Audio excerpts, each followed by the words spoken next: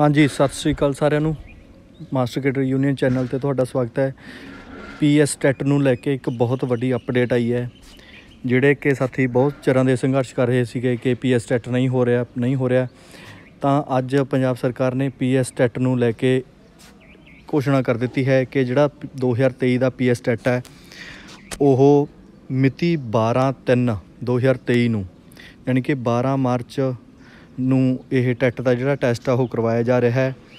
ਤੇ ਯੋਗ ਉਮੀਦਵਾਰ ਨੇ ਜਿਹੜੇ ਇਹਦੇ ਤੇ ਮਿਤੀ 18 ਦੋ 18 ਫਰਵਰੀ ਤੋਂ ਲੈ ਕੇ 28 ਫਰਵਰੀ ਤੱਕ ਆਨਲਾ ਆਨਲਾਈਨ ਆ ਜਿਹੜੀ ਉਹ ਐਪਲੀਕੇਸ਼ਨ ਭਰ ਸਕਦੇ ਨੇ ਅਪਲਾਈ ਕਰ ਸਕਦੇ ਨੇ।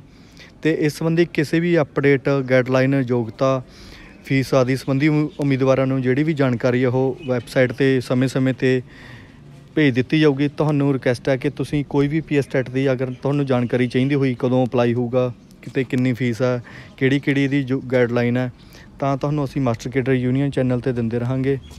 ਤੇ ਤੁਸੀਂ ਇਸ ਚੈਨਲ ਨੂੰ ਸਬਸਕ੍ਰਾਈਬ ਕਰ ਦਿਓ ਤੇ ਵੀਡੀਓ ਨੂੰ ਵੱਧ ਤੋਂ ਵੱਧ ਸ਼ੇਅਰ ਕਰ ਦਿਓ। ਅਸੀਂ ਤੁਹਾਨੂੰ ਪੂਰਾ ਜਿਹੜਾ ਇਹ ਨੋਟੀਫਿਕੇਸ਼ਨ ਆਇਆ ਉਹ ਪੜ੍ਹ ਕੇ ਸੁਣਾ ਦਿੰਦੇ ਹਾਂ। ਪੰਜਾਬ ਰਾਜ ਅਧਿਆਪਕ ਯੋਗਤਾ ਸਿਖਲਾਈ ਪ੍ਰੀਸ਼ਦ ਵੱਲੋਂ ਪੰਜਾਬ ਰਾਜ ਅਧਿਆਪਕ ਯੋਗਤਾ ਪੀਐਸ ਟੈਟ ਮਿਤੀ 12/3/2023 ਨੂੰ ਕੰਡਕਟ ਕਰਵਾਇਆ ਜਾ ਰਿਹਾ ਹੈ। ਯੋਗ ਉਮੀਦਵਾਰ 18/2 ਤੋਂ 28/2 ਤੱਕ ਟੈਸਟ ਲਈ ਅਪਲਾਈ ਕਰ ਸਕਦੇ ਨੇ ਤੇ ਹਰ ਇੱਕ ਅਪਡੇਟ ਲਈ ਉਹ ਜਿਹੜੀ ਵੈਬਸਾਈਟ ਬਣੀ ਹੋਈ ਹੈ, ਉਹ ਵੈਬਸਾਈਟ ਤੇ ਜਾ ਕੇ ਚ- ਸਮੇਂ-ਸਮੇਂ ਤੇ ਚੈੱਕ ਕਰਦੇ ਰਹਿਣਾ। ਬਾਕੀ ਵੈਬਸਾਈਟ ਦੇ ਨਾਲ ਨਾਲ ਤੁਸੀਂ ਸਾਡਾ ਚੈਨਲ ਸਬਸਕ੍ਰਾਈਬ ਕਰ ਦਿਓ, ਤੁਹਾਨੂੰ ਇੱਥੇ ਪੀਐਸ ਟੈਟ ਦੀ ਹਰ ਇੱਕ ਜਾਣਕਾਰੀ ਦਿੱਤੀ ਜਾਊਗੀ ਤੇ ਵੀਡੀਓ ਨੂੰ ਵੱਧ ਤੋਂ ਵੱਧ ਸ਼ੇਅਰ ਕਰ ਦਿਓ ਚੈਨਲ ਨੂੰ ਸਬਸਕ੍ਰਾਈਬ ਕਰ ਦਿਓ। Thank you so much